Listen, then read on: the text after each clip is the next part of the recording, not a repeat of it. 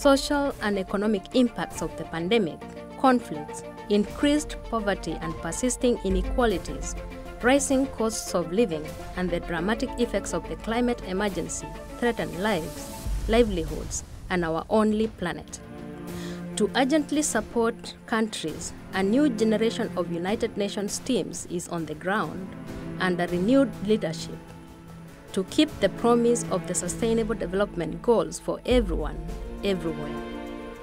Resident coordinators convene and partner to catalyze change for people and planet.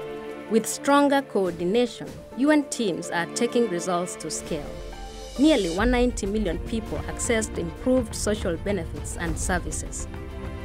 160 million people received food assistance for healthy lives, nutrition, and well being. Nearly 40 million children and adolescents gained access to education. 28 billion US dollars were geared to boost digital connectivity. 2.3 billion US dollars were catalyzed from private and public financing for people and the planet.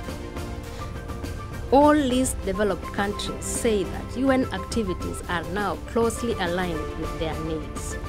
It takes unprecedented vision and coordination to rally up for the ambition, scale, and urgency needed to rescue the Sustainable Development Goals.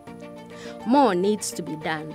Resident coordinators, the UN country teams, and the UN development system as a whole remain committed to respond with the skill sets, pace, and scale required. We can't afford to roll back on hard-won gains. We have no time to lose to keep the 2030 promise to end poverty and leave no one behind.